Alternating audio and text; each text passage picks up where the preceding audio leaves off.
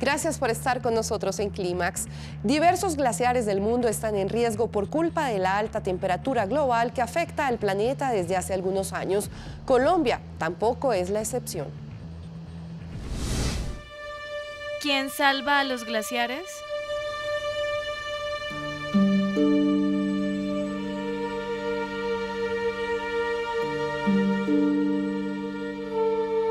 Estos copos de nieve del glaciar de Santa Isabel, en el centro de Colombia, podrían desaparecer durante la próxima década, según alertaron las autoridades ambientales del país.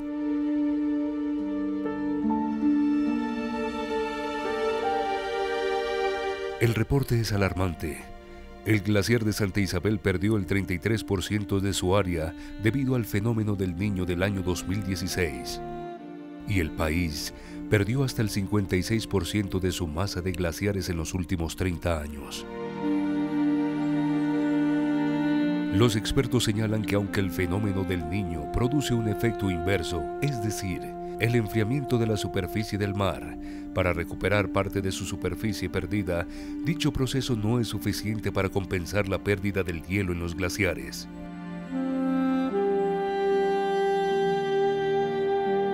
En Colombia hay un total de seis masas glaciares distribuidas en dos sierras nevadas, el Cocuy y Santa Marta.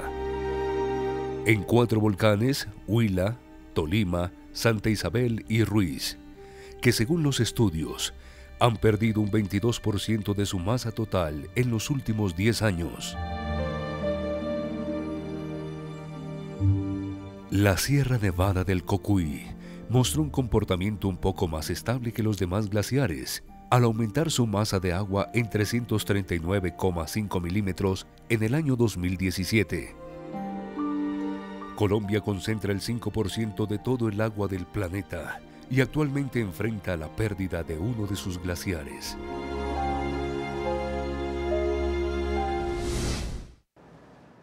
Saludamos en Bogotá a Jorge Luis Ceballos, glaciólogo del IDEAM, Instituto de Hidrología, Meteorología y Estudios Ambientales. Queremos saber cuál es la situación actual del glaciar Santa Isabel, que sería uno de los más afectados. Bueno, buenos días para todos.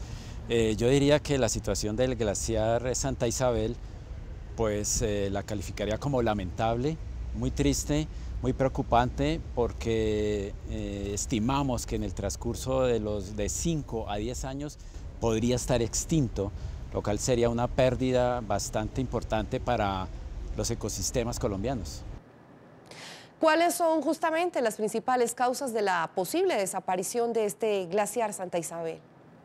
El glaciar Santa Isabel es muy sensible porque es muy pequeño y muy bajito. Su altitud no llega a los 5.000 y hoy en día glaciares que no lleguen a los 5.000 metros de altura pues son muy vulnerables a su derretimiento.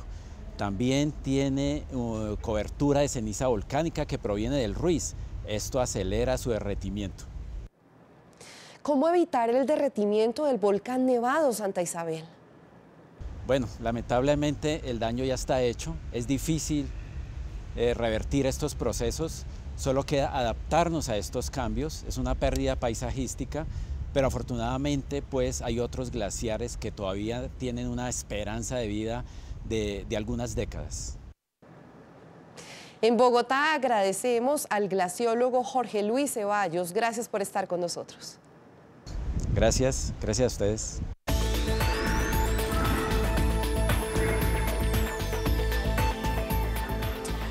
Jurisdicción española recuerda a sus habitantes lo sencillo que es contribuir en el cuidado del medio ambiente desde pequeños hábitos. Veamos. Educación ambiental.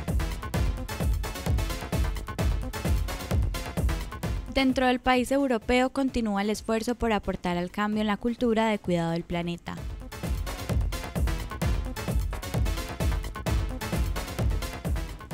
Sociedad pública adscrita al Departamento de Medio Ambiente del País Vasco, a través de un documento con 52 recomendaciones para los ciudadanos, pretende motivar a la modificación de hábitos que reduzcan las emisiones de gases de efecto invernadero. Muy fácil. Dentro de las recomendaciones está la adecuada disposición de las basuras, apagar las bombillas y desconectar aparatos electrónicos que no estén en uso, aprovechar al máximo la capacidad de las lavadoras, entre otras que pueden ser gestionadas desde los hogares. Muy difícil. Dentro de las opciones para contribuir al objetivo están las más complejas, que van desde la elección de vehículos que utilicen combustibles alternativos, la participación en proyectos para reforestar zonas boscosas, hasta la contratación de servicio de energía eléctrica procedente de energías renovables. El objetivo no solo de IJOVE, sino de la máxima autoridad vasca en su conjunto es motivar a la ciudadanía a unirse a la lucha contra el cambio climático. Por su parte, la sociedad pública respalda las políticas ambientales del gobierno vasco y también la implementación de una cultura sostenible que evolucione conforme a las necesidades de la comunidad y del planeta.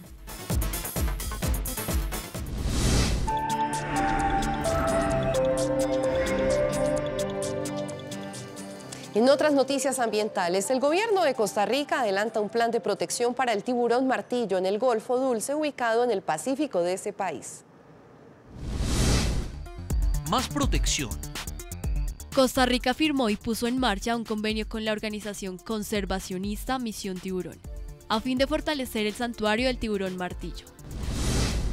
Buscamos contribuir en las investigaciones científicas y monitoreo de la población del tiburón martillo y otras especies de interés para la conservación del santuario del tiburón martillo, Golfo Dulce y zonas aledañas, además de fortalecer el programa de control y vigilancia. Carlos Rodríguez, ministro de Medio Ambiente de Costa Rica. La especie también conocida como Sphyrna lewini es un depredador tope del ecosistema donde se habita y es clave en la supervivencia y función de los ecosistemas marinos. Para los conservacionistas, adecuar y fortalecer el santuario beneficiará a la población del tiburón martillo en toda la región del Pacífico Oeste tropical, incluida la isla del Coco, patrimonio natural de la humanidad. Meses atrás, Costa Rica declaró al Golfo Dulce como un importante santuario del tiburón martillo.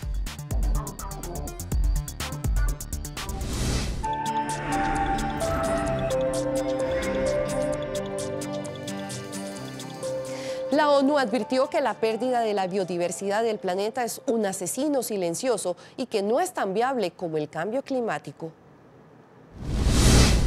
Pérdida de biodiversidad.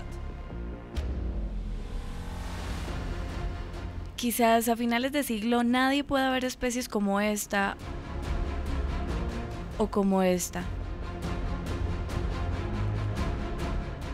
La ONU señaló en un informe que la disminución de especies puede afectar directamente la vida del ser humano de una manera dramática y que posiblemente en los próximos años sea tarde revertir el proceso. Expertos señalan que de una manera correcta o no, la mayoría de líderes mundiales y científicos asocian todo lo que ocurre con el cambio climático, pero casi nadie ha podido informarse sobre el papel que cumple la biodiversidad, una de las vías más importantes para enfrentar las altas temperaturas. Funcionarios de la ONU urgen cumplir en los dos próximos años las metas de biodiversidad establecidas en la décima reunión de la Conferencia de las Partes COP10 en Nagoya. Aunque señalan que las políticas de los últimos 10 años han servido para proteger reservas terrestres y marinas en el mundo, es necesario avanzar en los demás objetivos.